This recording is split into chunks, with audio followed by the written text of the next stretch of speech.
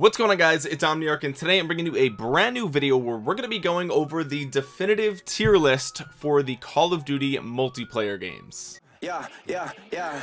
Die line, die line with the boom pow. Every week now switch to a new style. Two twelves in the back just blew out. I saw a couple of weeks ago that Drift0r actually made a tier list of his favorite Call of Duty games in order and I saw that and decided you know what I'm qualified to actually release the definitive tier list and tell you guys exactly which games go in the correct order. And everybody who plays Call of Duty should agree with this otherwise you're wrong. Hopefully you can sense my sarcasm otherwise you're probably already furiously typing in the comment section below. With that being said guys let's jump into the tier list. If you haven't seen this before this is tiermaker.com uh, this has gotten a lot of publicity lately from iDubbbz with his fast food tier list. He also did a presidential tier list. And then we had review of the week take the fast food one and take that to a whole new level. So this website's gotten a lot of attention lately and I think that's where Drift0r got the idea. And now here I am telling you the actual order of the Call of Duty games. And I'm gonna be just going in um like release order. So you can see down here these are the order in which the Call of Duty games came out. Obviously we're missing Call of Duty 1 2 and 3 as well as the PC version the United Defensive and whatever those other PC versions were. Um but these are like the big Call of Duty games. This is when the franchise started really to explode. So with that being said let's talk about Call of Duty 4 Modern Warfare. This is kind of like the grandfather of all of the modern all of the uh, all the call of duties that came after it essentially. Um, the engine was really good. The online multiplayer was was incredible. Um, and this this deserves a lot of respect even if there's a lot of improvements that were made along the way uh, the Call of Duty 4 the gun balance was good. There was some some issues with perk balance because we had Juggernaut and stopping power and things like that. Um, and we didn't have as cool of kill streaks as we might have gotten later down the line. But again this is like the foundation of modern Call of Duty uh, and everything kind of falls back to Call of Duty 4 and its early success for the franchise. So with that being said Call of Duty 4 is going to get an A ranking because it's not quite as uh, good as the some of the other games on this list but because of what it brings to the table uh it's it's definitely up there as one of the best games in the franchise. Next we have call of duty world at war. Now there's a couple of things about call of duty world at war. One uh the gun balance wasn't very great in this game. Uh the mp40 was just the best gun all around. I mean there was really not that many instances where you should be using anything other than the mp40 um and also it's kind of it, it came at the coattails of call of duty 4 modern warfare and COD 4 was the first modern Call of Duty that we ever got. Previously to that it was all world war ii so now that we've seen modern warfare everybody gets world at war and everyone's like oh well we kind of already played a bunch of world war ii and now that we got modern warfare we kind of want to keep playing that. So World at War kind of suffered from being in the shadow of uh, Call of Duty 4 but it also is a cult classic. Some people think World at War was like the best Call of Duty that ever came out and this was also the first Call of Duty game where we saw attack dogs and it's also the first Call of Duty game where we saw zombies which is a big deal for Call of Duty World at War. Uh, but again the multiplayer didn't really live up to Call of Duty 4 in my opinion.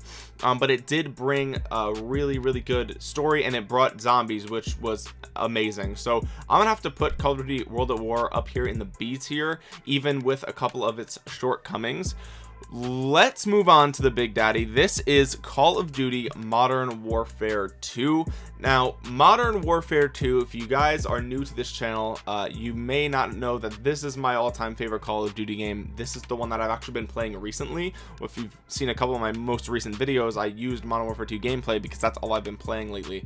Um, with that being said we're gonna have to go through and uh, pick out what what tier this goes in right? Like there was a lot of things wrong with modern warfare 2 even though it was my favorite uh, call of duty. We had the one-man army noob tube. We had people running around with like dual rangers and dual model model 1887s which was super frustrating. We also had commando knifing which drove everybody crazy with the tactical knife and the ninja perk combo. So tons of things about this game that drove people mad. And of course it didn't really have good patch support because modern warfare 2 is when the uh, game development studio the infinity ward studio kind of broke apart. Um, so there wasn't that many uh, there weren't many patches to kind of fix the problems in this game.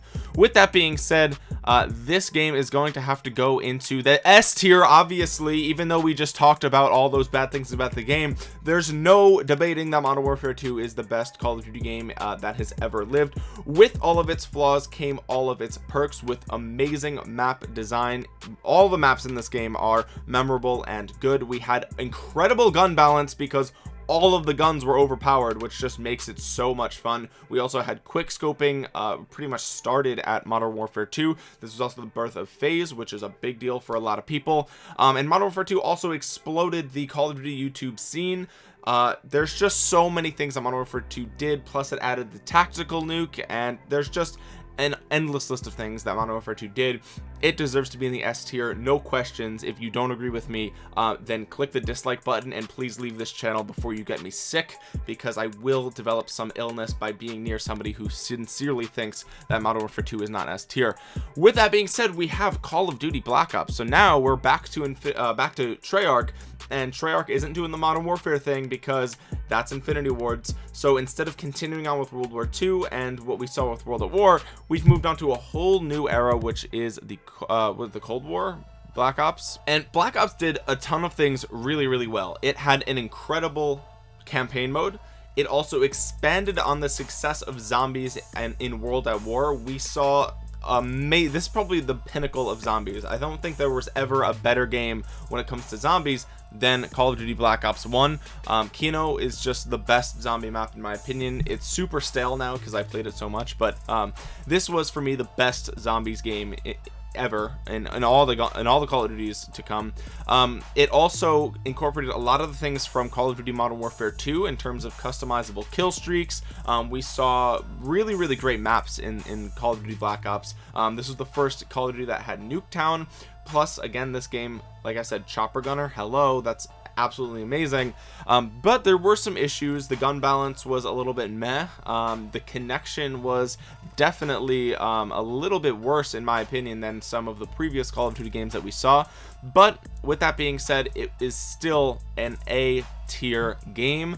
Um, Black Ops 1 was a classic um, instant classic super super fun call of duty. The multiplayer was incredible. Zombies was incredible. Campaign was incredible. There's really not much else to say about it besides the fact that we saw a couple of connection issues. We didn't see any tactical nuke in the game. Um, so there was a couple of things that didn't make it up to the S tier with that being said let's talk about modern warfare 3 back to infinity ward and now we see uh, the game be developed by people a couple of new faces in the studio because like i said we saw falling out with mw2 modern warfare 3 at the time got some slack for essentially being a uh, kind of being like a almost like a modern warfare 2 dlc right? A lot of people said that a lot of the guns were the same the game felt and played the same um, there were similar kill streaks like everybody thought that it was kind of just a remake of Modern Warfare 2 just new maps new a couple new guns a couple new kill streaks and that's it. Um, but I strongly disagree. Modern Warfare 3 in my opinion was an incredible game. I have very vivid memories of playing this game um, back when it first came out and I think that this is definitely one of the best games in the franchise no doubt. Um, we saw really powerful guns uh, both primary and secondary. The maps in this game were very very fun. We saw a ton of things. In Modern Warfare 3 were really really good. Um, this was the first time that we saw the kill streak uh, package change. So you could do regular kill streaks or you could do support kill streaks or you could do um, the kill streak I don't remember what it was called but you would get different perks at different kills. Um, and if you had hardline as the first one every two kills you would get uh, a new perk and you could choose which perks you wanted. And after I think seven kills you had all perks which was you just ran around the map like an absolute demon which was amazing. Plus we saw the moab which was uh, a huge improvement over black ops 1 because now we have another amazing kill streak to go for. So with that being said modern warfare 3 also in the a tier.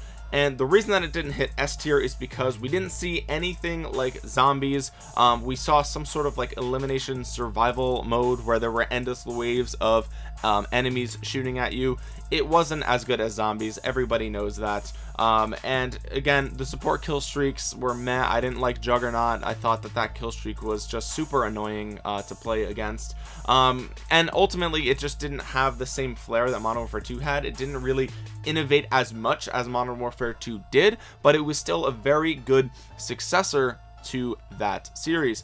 Um, with that being said let's move back to Treyarch with Black Ops 2 Black Ops 2 is widely known as being one of the best Call of Duty games in the uh, franchise and you know there was not that much bad that I could say about Black Ops 2 I would say the worst thing about Black Ops 2 um, was maybe the gun balance uh, and I know that that's gonna piss a lot of people off because a lot of people said that Black Ops 2 is like the most balanced uh, game when it came to gun balance but I'm a fan of Modern Warfare 2 gun balance where all the guns are super strong and in Black Ops 2 we didn't really have that. We had a lot of usable guns right? We had the PDW the MSMC I forgot what the three round burst rifle was but there's a lot of really good guns in Black Ops 2 um, and with that being said gun balance was was really good but it wasn't as good as Modern Warfare 2 in my opinion. I know a lot of people are going to disagree with that but again we're talking about the definitive list so this is not this is not about opinion this is about facts only. We're only talking about facts.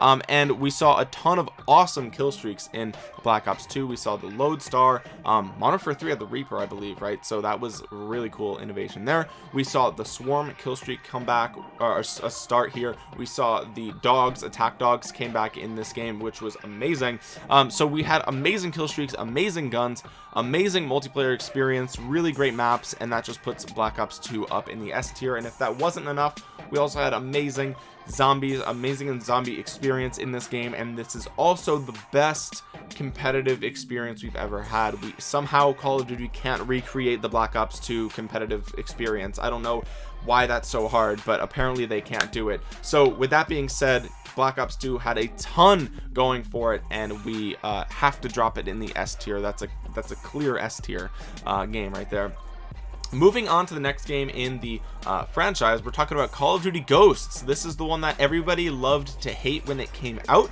and now that when we look back we are saying well it actually wasn't that bad. Um, but the thing with ghosts is that it took it didn't do anything amazing right? So we had Infinity Ward made Ghosts, and we saw Call of Duty Modern Warfare, Modern Warfare 2, and Modern Warfare 3. They came out in succession.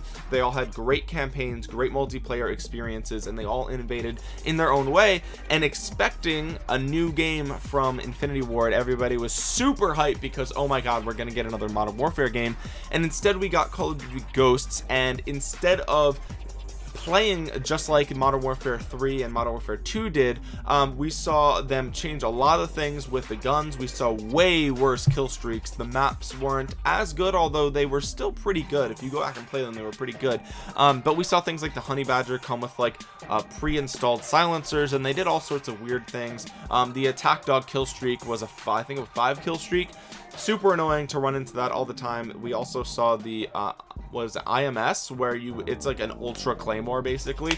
Um, and that was kind of annoying but also fun to play with. So looking back Call of Duty Ghosts wasn't as bad as we thought but at the time it didn't innovate and it actually removed some of the things that we loved about the Modern Warfare trilogy. And for that we're placing it right here in the I'm gonna put in the C tier because again you could go back and play it and it's not that bad um, but it just didn't innovate for the time and it wasn't a true successor to the Modern Warfare trilogy. Let's move on to Advanced Warfare Call of Duty Advanced Warfare tried to freshen up the entire franchise. Um, this game was made by Sledgehammer, so this is the first time that we're seeing a new development studio uh, come in and make it a three-year cycle. Sledgehammer decided to change things up and add exo movement and bring us far into the future. This is the first time we saw boost jumping jetpack stuff and uh, at first everybody loved it I don't know if you guys remember this but when the game first dropped everybody loved the exo movement because it was very fast and it made the game feel very different and very new and very fresh which is what we needed coming out of Call of Duty Ghosts.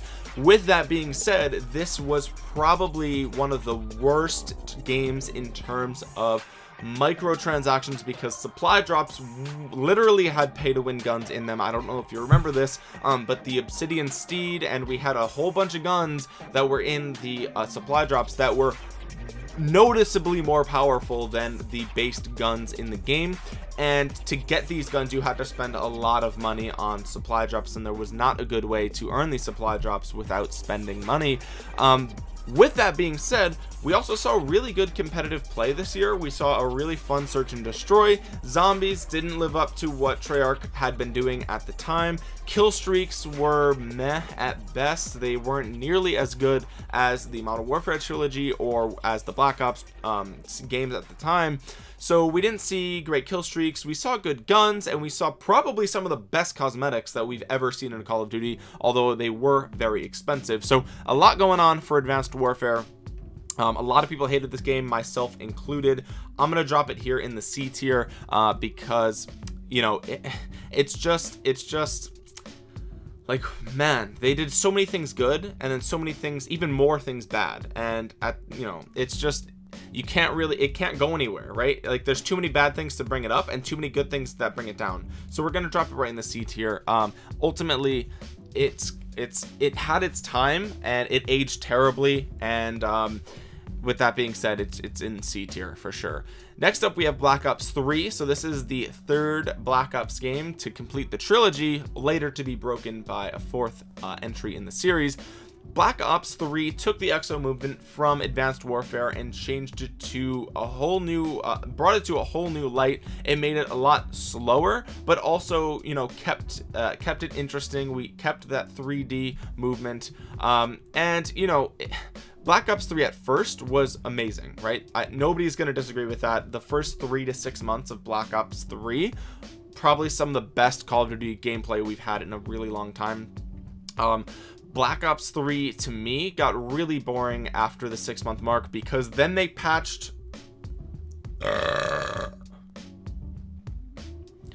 well, they patched everything. They nerfed all the good guns. Uh, they nerfed sound and footsteps. They just completely ruined the game after the six month mark.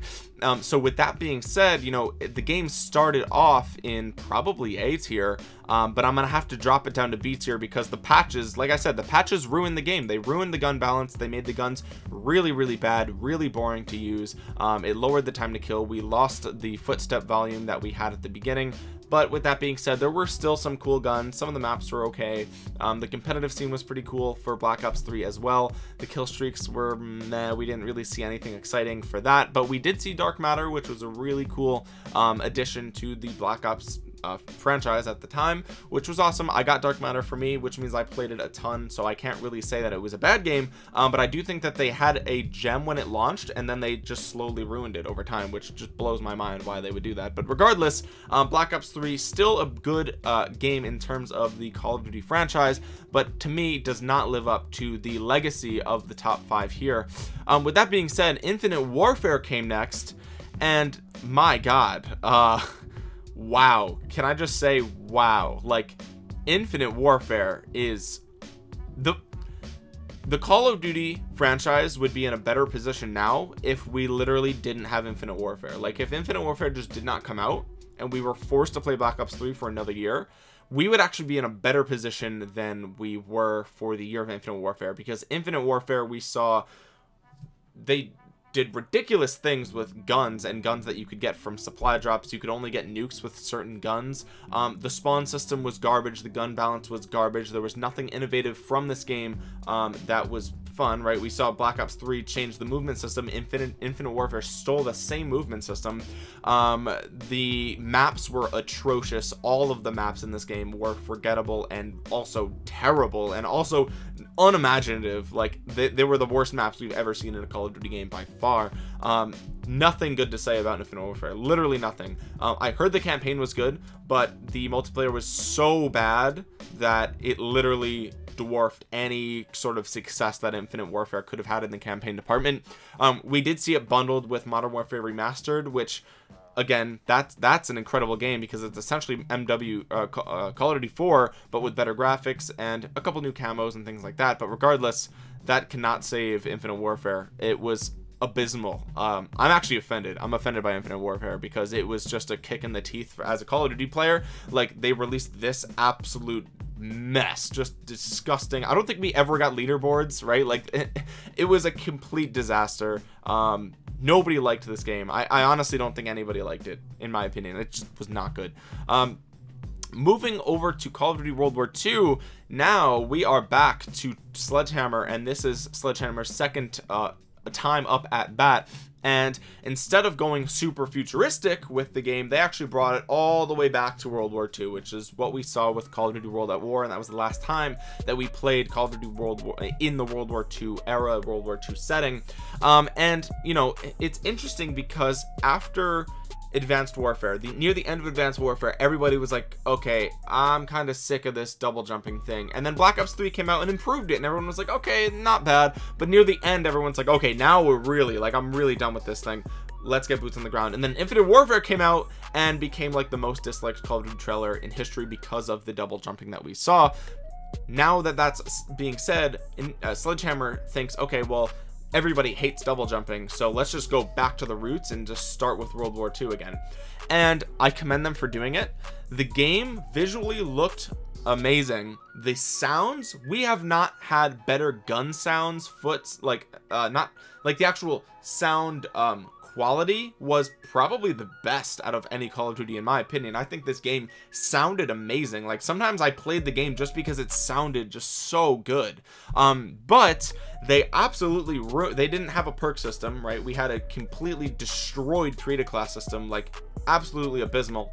Um kill streaks were not very good. Gun balance wasn't very good. Some of the maps were okay but the problem was the game shipped without enough content right? We had like what seven maps at launch? Nine maps at launch? Something like that? We didn't have that many guns. Uh, it just there wasn't much to do with create a class or anything like that. So the game just flopped from the from the get-go. Um, it was hyped up and then it just under delivered like heavily under delivered um, apparently around the six month mark we saw a different team take over and they kind of revamped the multiplayer experience and made it better from what I hear. Um, but you don't get that much time to fix your game. Like I'm sorry you don't get six months. The like the consumer's attention span is not that long. Uh, there was a million other games to play and at this time Fortnite was exploding. So there was no reason to play Modern, uh, Call of Duty World War II for more than a month or two after we realized how terrible it was. Regardless of whether or not they tried to save it near the end it doesn't really matter uh, because the game just under delivered and it wasn't very good and with that being said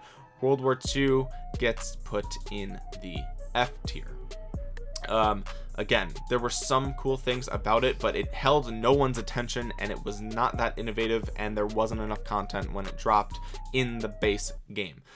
Finally, Call of Duty Black Ops 4. What are we gonna do with you, bro? Black Ops 4. It's supposed to be the successor to Black Ops 3, which as you see is in the B tier.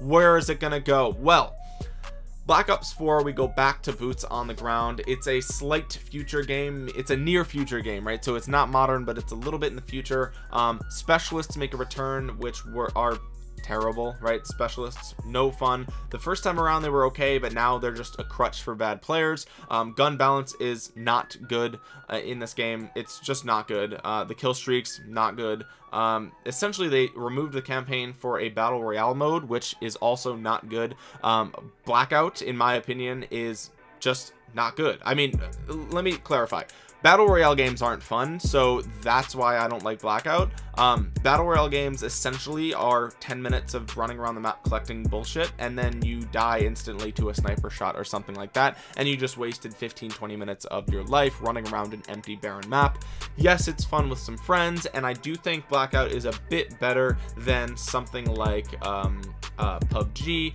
or maybe even Apex Legends. So Blackout, as far as battle royales go, is good, but the entire genre of battle royale is just boring to me. Um, so multiplayer failed. Battle royale is not my cup of tea. No campaign. Uh, zombies, I guess, was okay, but it wasn't nearly as good as Black Ops 1 or 2. Um, so with that being said, it's gonna actually go in the D tier, even though I just said terrible things about the game um, it was still better than infinite warfare and world war ii i mean it was at least playable for a little while. Um, and the fact that that's the point that that get like you get points for being merely playable is is sad because these two games were barely playable if at all. Um, so black ops 4 gets tossed in d tier. It had very ter it was anti-consumer for sure um, there's just not many good things about black ops 4 um, so it has to sit in the D tier for me. The game just didn't grip me. The gun balance, again, terrible. Kill streaks, terrible. There just wasn't anything very redeeming about Black Ops 4, other than it was a slight improvement over the previous two entries, which made it at least playable. With that being said guys thank you so much for watching. Drop a, drop a comment down below telling me what games you would place in what order. Um, and if you want you can go to tiermaker.com and you can create your own tier list. And if you do make sure you send it to me on twitter or on like a dm on instagram or something so i can see it. If you enjoyed the video make sure you drop a thumbs up subscribe if you're new around here. And if you want to see more videos then you can go ahead and hit that bell button so you'll be notified every time that i upload. If you don't follow me already on twitter and instagram go ahead and do that because anytime that i upload a new video or i go live i post there first and you might not get the video in your sub box but you will see it on social media. With that being said guys thank you so much for watching. This has been omniarch and i will talk to you guys again soon. Peace